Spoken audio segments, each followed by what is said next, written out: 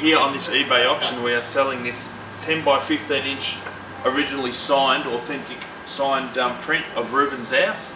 Now the print's from the 2011 World Superbikes.